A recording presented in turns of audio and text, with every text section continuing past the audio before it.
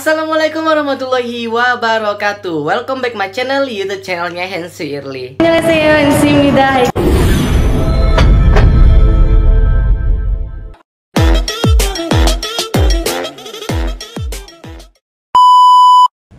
Pedagang kaki lima, toko kelontong, agen atau outlet voucher, pangkas rambut, laundry, pedagang asongan, bengkel kecil, cucian kendaraan, dan usaha kecil lainnya yang sejenis diizinkan buka dengan protokol kesehatan ketat sampai dengan pukul 21 yang pengaturannya teknisnya akan diatur oleh pemerintah daerah. Nah, dari beberapa video ini sangat menyakitkan hati melihat masyarakat-masyarakat kecil yang selalu ditindas oleh oknum aparat.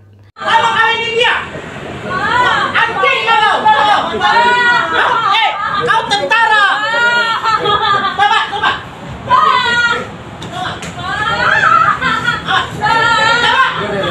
Pergi kau, pergi, pergi kau. Woi! Tangkap, tangkap ibu, tangkap, tangkap, tangkap, tangkap! Tangkap ibu, ambil! Ambil, ambil, bawa, bawa ambil.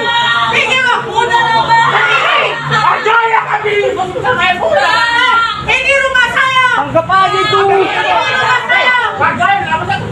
Abang, kenapa? Tadi kamu tanya kenapa? Pergi. Lagi ya. Pergi kamu. Pergi kamu, pergi. Pergi kamu. Penginahan, penginahan. Woi, satu satu satu satu kosong, satu satu kosong kosong. Ingat ya, Satpol PP, aku nggak tahu status kau dalam kepemerintahan ini apa. Apakah pegawai negeri, apakah honorer, atau apa, aku nggak tahu lah. Dan cara masuk Satpol PP ini pun aku nggak paham, karena aku bukan pemerintahan. Cuman harus kau pasang pakai otak kau dan jantung kau, ya. Kau dengar pakai jantung kau, kau digaji dari uang rakyat. Tak ada pula Bapak Jokowi mengeluarkan saldonya untuk menggaji kau. Paham kau? Udah? Oke, kau berlandaskan menjalankan tugas. Cuman yang aku ingatkan harus harus pakai attitude ngomongnya harus pakai attitude. yang harus aku ingatkan Kau mau menjalankan tugas, mau menjalankan puki ayam, sambal belado, segala macam. Jangan kau arogan, ya. Salpo PP khususnya di Medan ini dan banyak siaran-siaran Salpo PP selalu aku lihat arogan. Lebih parah arogannya daripada polisi, daripada tentara. Kalau polisi masih bisa lagi minta tolong minta tolong. Aku tengok Salpo PP ini ya, yang matakan gitar semalam aku masih diam, nggak ada aku ya buat video ya matakan matakan gitar-gitar pengamen ya. Ya sudahlah, karena aku dengar udah ada minta maaf kau klarifikasi ya. Tapi ini ke sini mengesalah PPKN dan biologi ini kau arogan kali ya. Gak usah kau campak-campak dagangan eh, pedagang-pedagang itu ya. Sayur-sayurannya segala macam di pinggir jalan. Orang itu pun kalau ada lapaknya yang bagus di mall sana nggak mau dia jual di emperan jalan. Baru kami pun mama-mama yang miskin ini kalau harus Bagaimana bisa kita menjauhi kerumunan sedangkan kerumunan adalah salah satu aktivitas dari masyarakat tentunya di Indonesia. Saya BPJS aja nggak ada. Nah kayak gini usaha suruh tutup sedangkan resiko kita nggak ditutup So, saya mau Jalan ditutup. Siapa yang ngebiayain? Kalau saya nggak buka usaha ini. Tapi saya ini tutupnya gimana, Bapak? Saya nggak punya loling.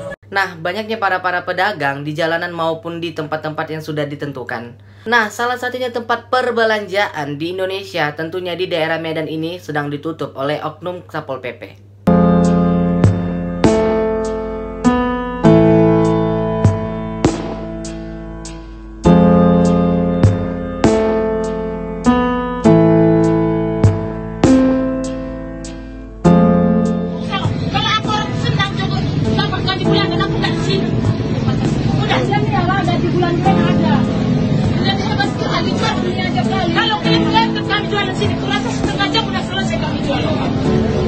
eh, ukuran saya eh, perempuan.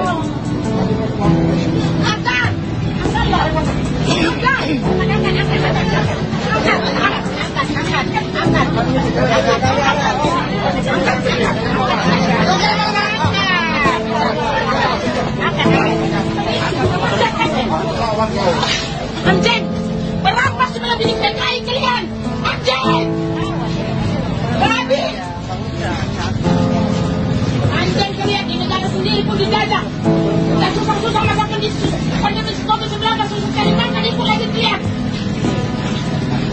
Jadi, Ini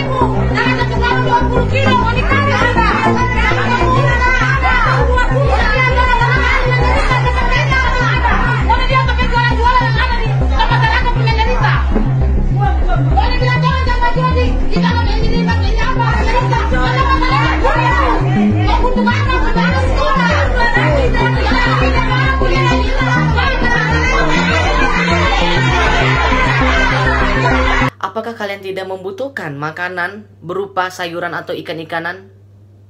Begitu juga dengan masyarakat lainnya. Hanya karena penyekatan, bukan negara kosi. Saya minta wartawan datang dulu. Kalian ini memang tak betul. Saya ini aktivis. Saya minta wartawan datang dulu. Tunggu, tunggu, tunggu. Tunggu, tunggu, tunggu. Tidak, tidak, tidak. Tidak, tidak, tidak. Saya tidak mau damai-damai. Tidak, tidak, saya. Saya sudah Pak? Pukul saya. Pukul. Pukul saya. Mati saya. Pak, saya orang Batam. Orang Batam saya. Oh, saya ini biasa demo saya tahu. Saya ini biasa demo. Lu jangan main. Jangan jangan. jangan. Masa mobil ini sebesar? Lewat dia. Biar mobil kecil dia. Eh jangan. Eh, kau, kau jangan pegang. Kau jangan saya. Jangan pegang. Eh, pukul saya. Pukul. Pukul. Pukul, pukul. Pukul saya. Tidak. Bapak duduk dulu. Tidak. Saya tidak mau. Ah, Saya tidak mau. Saya tidak mau. Hari ini saya bikin heboh lagi. Kita ngobrol dulu. Apa masalahnya Bapak? Masalahnya mobilnya. Eh, pakai aturan dari mana? Aturan. eh, Keluarkan dasar aturan. Keluarkan dasar aturannya. Saya sudah bilang, keluarkan dasar aturan. Mobil besar lewat, mobil kecil tidak di tidak dibiarkan. Itu membuat masyarakat sengsara supaya kalian tahu. Saya ini masyarakat kecil. Saya biasa bela masyarakat kecil. Kepentingan masyarakat kecil. Kamu kalau saya buka baju habis. Ya, terminal. Ya, duduk aja. Duduk aja, Bang. Ini kalian ikuti wali kota punya aturan tidak jelas ini. Ya bahaya ini. Bukan covid membuat manusia mati, tapi malah peraturan buat manusia mati itu. Eh, enak kali. Eh, peraturan buat manusia mati, bukan covid, bapak. Eh, ayah, saya sudah bilang apa? Eh, jangan membuat masyarakat disekat kayak gini. Penyekatan begini membuat masyarakat rusak tahu. Mati masyarakat. Orang keluar rumah juga tidak bisa. Saya tidak gila. Saya Pauline tidak gila. Jangan sentuh saya. Kalau Bapak mau lapor media, Bapak lapor media. Bukan lapor media. Saya bikin kacau sampai di Jakarta. Media, saya confirm. Confirm. Eh, saya confirm. Lu jangan macam. Bapak, Pukul saya. siapa Pukul. mukul Bapak? Bapak yang macam-macam sekarang. Saya bukan macam-macam. Apa yang macam-macam sekarang? Oh. Hah? Pak Lurah, jangan terpancing Pak Lurah. Pak Lurah jangan terpancing. Biar aja. Biar aja jangan terpancing. Dia heboh heboh dengan aparat. Apa heboh dengan masyarakat kayak gitu? Aparat kok heboh dengan masyarakat? Eh, aparat melayani masyarakat begitu.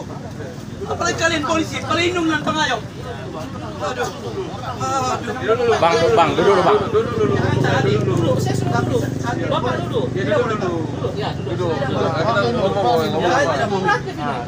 Nah, bagaimana nih pendapat kalian tentang oknum-oknum pemerintah yang telah meresahkan warga? Tentunya saya sendiri yang merasakan sebagai masyarakat kecil di golongan perekonomian sangat rendah. Menurut aku, PPKM ini sangat dampak berpengaruh bagi kita semua. Nah, menurut kalian siapa yang harus didengar? Pemerintah atau masyarakat? Dia memukul Pak. Kurang ajar dia memukul. Pak, lihat Pak. Pak. Eh, astagfirullahaladzim. Eh, saya bebas di sini Pak. Ini rumah saya Pak. Jangan saya, saya jangan saya. Jangan saya. Astagfirullahaladzim lihat Pak. Anda, anda anggota, anda anggota seperti itu. Anda anggota seperti itu. Astagfirullah. Astagfirullah dia memukul Pak. Dia memukul. Lihat Pak, dia memukul ya. Dia memukul istri saya juga Pak. Astagfirullah. Tunggu ya, tunggu saya lapor. Sudah, sudah. Eh, tunggu saya. Nih, bapak bapak bapak polisi. Bapak, eh, sudah, sudah. Bapak polisi loh, bapak polisi loh. Saya sudah lama. Bapak polisi loh. Eh, dia memukul istri saya. Lagi hamil istri saya, lagi hamil Pak. Lagi hamil dia pukul, dia tampiling. Sudah, sudah. Tunggu ya. Spirit lead me where my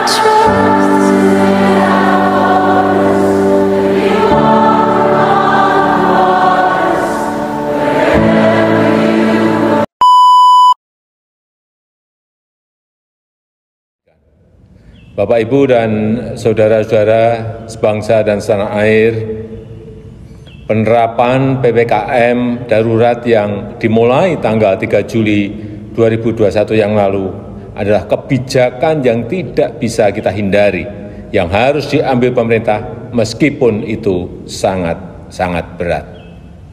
Ini dilakukan untuk menurunkan penularan COVID-19 dan mengurangi kebutuhan masyarakat untuk pengobatan di rumah sakit, sehingga tidak membuat lumpuhnya rumah sakit lantaran overkapasitas pasien COVID-19, serta agar layanan kesehatan untuk pasien dengan penyakit kritis lainnya tidak terganggu dan terancam nyawanya.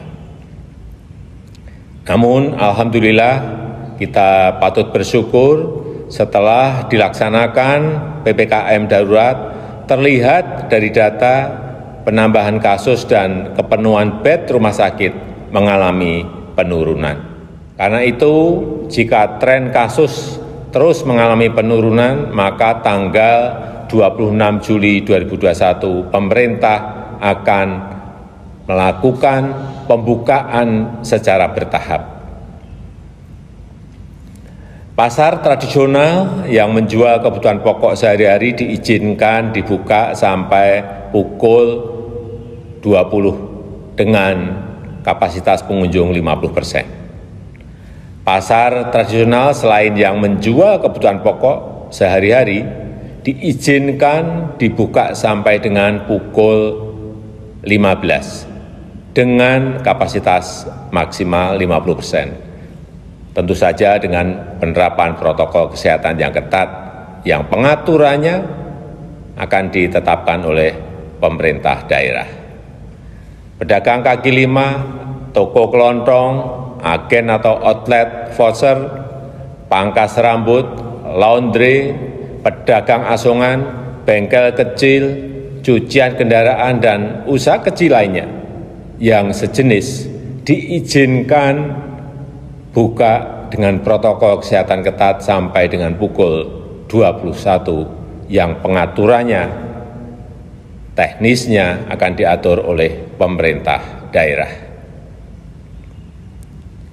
Warung makan, pedagang kaki lima, lapak jajanan, dan sejenisnya yang memiliki tempat usaha di ruang terbuka diizinkan buka dengan protokol kesehatan dengan ketat sampai pukul